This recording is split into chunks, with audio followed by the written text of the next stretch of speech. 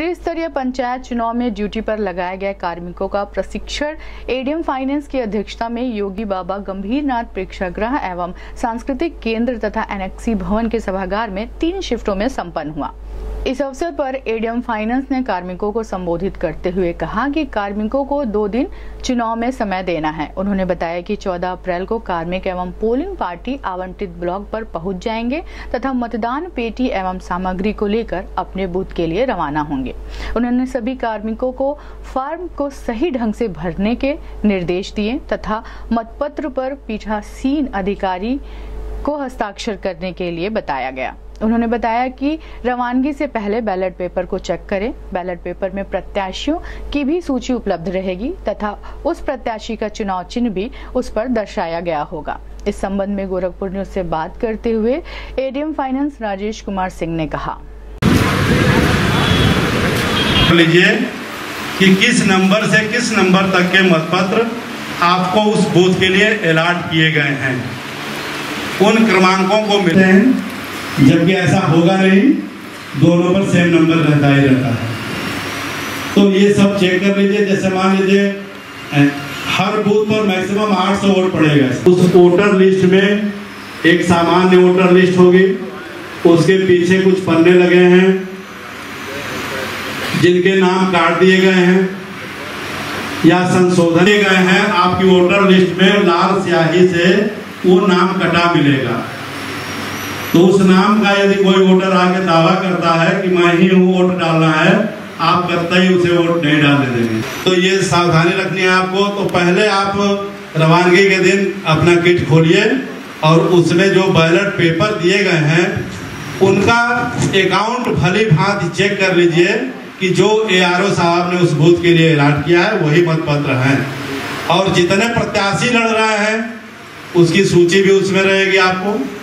और उस प्रत्याशी के नाम के साथ क्या चुनाव चिन्ह है, उसके सामने वो भी लिखा होगा। एक फॉर्मेट होता है, जो अभी आपको पता है कि नामांकन के बाद स्क्रूटनी होती है। स्क्रूटनी के बाद फिर वो लिस्ट जारी की जाती है। उस लिस्ट की दो प्रति आपके उस किट में भी होगा।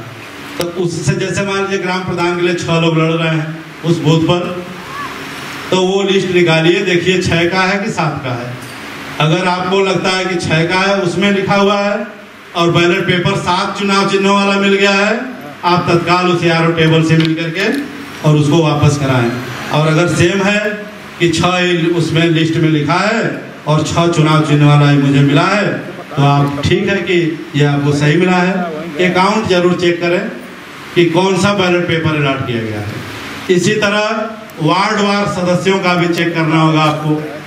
और इसी तरह वार्ड वार क्षेत्र पंचायत सदस्यों के भी बैलेट पेपर को चेक करना है। और इसी तरह से जिला पंचायत के भी सदस्यों का जो निर्वाचन उस बूथ पर हो रहा है, उसके लिए भी उसका भी बैलेट पेपर का अकाउंट और चुनाव चिन्हों की संख्या इत्यादि आप इंश्योर कर लेंगे। लेकिन सामान्यतः आपको हर बूथ के लिए दो मत पेटी मिलेगी। तो ऐसा नहीं करना।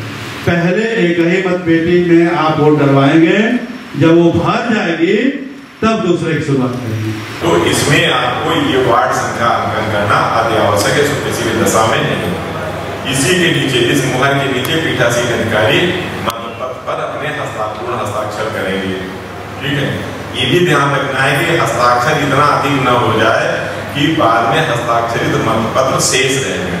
क्योंकि अगर हस्ताक्षरित मतपत्र शेष रहते हैं तो उनके लिए एक अलग लिफाफा बनाना पड़ता है और उसको आपको अपनी मतपत्र लेखा में अलग से मेंशन करना पड़ेगा। तो कोशिश करिए लास्ट में जब चार पाँच दिन बाद आपके पास साइंड बैलेट पेपर ना बचे और दो दो चार चार आते हैं तो आप साइन करते जाए और अपने मतदान अधिकारी दूजी को देते जाए। ठीक है? इस तरह अरेंज करिए कि आपके पास जितने साइन वाले हों, वो सब खत्म हो गए चार तरह के बैलेट पेपर आपको मिले हैं। मैंने बता दिया, सफ़ेद रंग का ग्रामीण चिन्ह है, जो आपको भी मैंने दिखाया था। ठीक है? ऊपर वाला जो आपको ये सुविन्य चिन्ह की एक मुहर होगी ठीक है? ये मुहर मिलेगी और आपको बैलेट पेपर के पीछे पीछे की तरफ़ अपोजिट साइड पेपर का क्रमांक अंकित होगा। उसी क्रमांक के आसपास आपको ये सुविन्य चिन्ह लगाना है और इसकी जितनी एंट्रीज है, उसको कंप्लीट करना है। विशेष करके क्षेत्र पंचायत पंचायत सदस्य में उसका पंचायत सदस्य और ग्राम सॉरी जिला पंचायत सदस्य की दूसरी सुविधा चिन्ह है जो नीचे दिखाई जा रही है इसमें विकासखंड मध्य स्तर का क्रमांक निर्वाचन क्षेत्र का क्रमांक ये है वार्ड नंबर इसको भरना है और क्षेत्र का नाम लिखना है जनपद का नाम लिखना है। जी? निर्वाचन क्षेत्र। का क्रमांक वही होगा जो वार्ड नंबर हो वो मिलेगा बताया जाए किस वार्ड का क्रमांक। क्षेत्र का नाम। ठीक वो लिखना है आपको। और इसी के नीचे पीठासीन अधिकारी अपना हस्ताक्षर करेंगे। सिंह फाइनेंस और आप सबका स्वागत है हमारा जो ये मतदान मतदान कार्मिकों का जो प्रशिक्षण हो रहा है, आप सबका स्वागत है। ये पहला बैच है हमारा, इसी तरह से पर डे हमारे तीन बैच होंगे। हमारी जो पूरी मतदान प्रक्रिया है, मात्र आपका जो आज का समय, चार घंटे का समय, जिसमें दो घंटे, तीन घंटे आपका व्यतीत हो चुका है, एक घंटे और आपको यहाँ पे बैठना है। पोलिंग पार्टी में चार लोग हैं PO PO one PO two और पीओ थ्री मेरा आप सबसे अनुरोध है कि आज अभी जाने के पहले आप अपने पूरी पोलिंग पार्टी के संपर्क में हो लीजिएगा। किसी को हड़बड़ाने की आवश्यकता नहीं है, हो सकता है किसी का कोई कार्मिक ना आया हो। तो आप उसको आराम से नोट करा लीजिएगा। वैसे अभी जब आप आए हैं, आपकी अटेंडेंस हुई है तो वहाँ पर ये नोट हो गया है कि आपकी पार्टी का कौन व्यक्ति नहीं आया है। ड्यूटी कटने पे थोड़ा सा हम स्थिति स्पष्ट कर दे रहे हैं। अब की बार जो ईडीसी सॉफ्टवेयर है, जिसके थ्रू ड्यूटी आप लोगों की लगाई गई है, उसमें कहीं पर भी पोलिंग पार्टी को रिप्लेस करने का या पोलिंग कार्मी को रिप्लेस करने का कोई भी सॉफ्टवेयर अभी अवेलेबल नहीं है।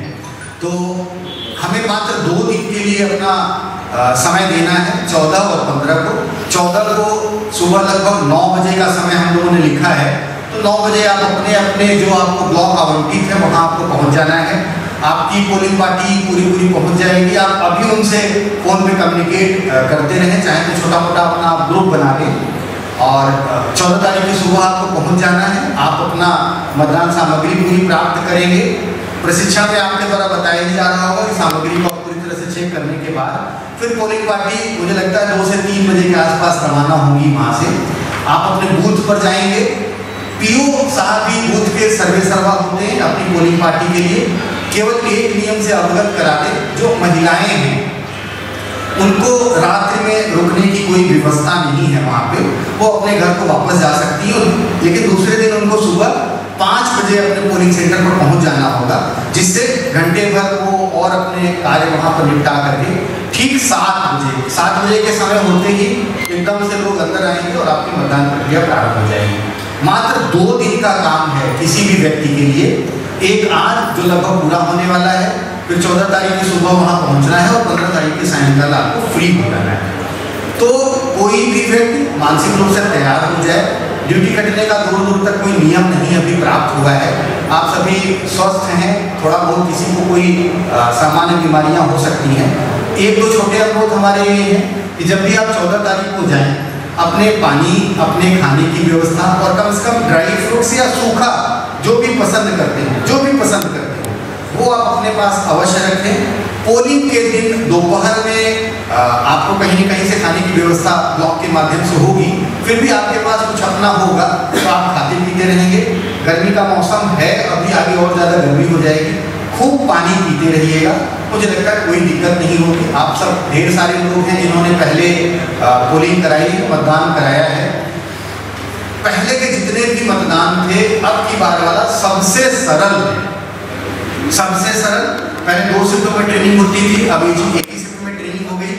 पीओ को पीठासीन अधिकारी की डायरी मिल गई, आप इसको पढ़ लें और अपने पी वन पी टू को भी दे दें वो लोग भी एक बार पढ़ लें।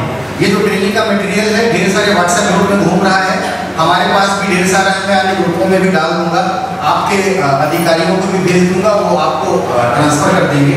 आप पढ़े रहेंगे तो उस दिन इसको अच्छे से करा देंगे मेरी शुभकामनाएँ हैं, अपने एक और छोटी सी बात है, जो लोग जो भी दवा लेते हो पर्टिकुलरली डायबिटीज़ और बीपी ये मोर देन फिफ्टी परसेंट लोगों को है, और ये एक राज रोग टाइप की चीज़ है, इससे घबराने की आवश्यकता नहीं है। इसमें यदि आप खाना कम खाएँगे, आप स्वस्थ रहेंगे। बीपी आपका नहीं बढ़ेगा ना ही डायबिटीज़ बढ़ेगी। तो कम से कम आज से लेकर उस दिन तक आप नमक का त्याग कर दें, चीनी का त्याग कर दें और कम खाना खाएँ तो अगर जिसका डायबिटीज़ 200 होगा और डायबिटीज़ डेढ़ हो जाएगा। खूब पानी पीते रहें तो जो बीपी है वो नॉर्मल रहेगा। दो चीज़ें हैं, बाकी मुझे लगता है थर्टी परसेंट लोगों को थायराइड भी करता है। तो थायराइड कुछ ऐसा नुकसान नहीं करता यदि आप उसकी गोली ले रहे हैं। इसके अतिरिक्त, यदि कोई व्यक्ति कहीं पर एडमिट है तो नेचुरली अगर वो एडमिट है तो उसका हमारे पास मैसेज आ जाएगा। बाकी सब लोग, जो भी दवा खाते हो, जो भी दवा हो, वो अवश्य लेके जाएँ, पानी अवश्य लेके जाएँ, खाना अवश्य लेकर के जाएँ, और मेरी शुभकामनाएँ हैं आप सब, आज अपना प्रशिक्षण प्राप्त करें, और चौदह की सुबह अपने अपने गाँव थैंक यू छिहत्तर पंद्रह। चौरानवे चौवन इकतालीस छिहत्तर पंद्रह। किसी भी समस्या के लिए हम सब आपके साथ खड़े हैं। आप हमें मैसेज करेंगे तो आपको कहीं ना कहीं से रिस्पॉन्स अवश्य जाएगा। ताकि कोई समस्या हो तो उसको सपोर्ट करें। थैंक यू नमस्कार। नमस्कार, मैं राजेश कुमार सिंह हूँ एडीएम फाइनेंस हूँ। आज त्रिस्तरीय पंचायत सामान्य निर्वाचन की प्रशिक्षण कार्यक्रम यहाँ पर। बाबा योगी गंभीर दास, गंभीरनाथ प्रेक्षागृह में प्रारंभ हो गया है। सभी मतदान कर्मी यहाँ पर आ रहे हैं, अपनी अटेंडेंस दे रहे हैं और सिंसियरली प्रशिक्षण ले रहे हैं। इसमें पीओ को पीठासीन अधिकारी की डायरी उपलब्ध करा दी जा रही है। एक पीपीटी है पीपीटी के माध्यम से पूरी पूरी मतदान प्रक्रिया, निर्वाचन प्रक्रिया कैसे क्या कराया जाएगा, इसके बारे में उनको भिज्ञ कराया जा रहा है।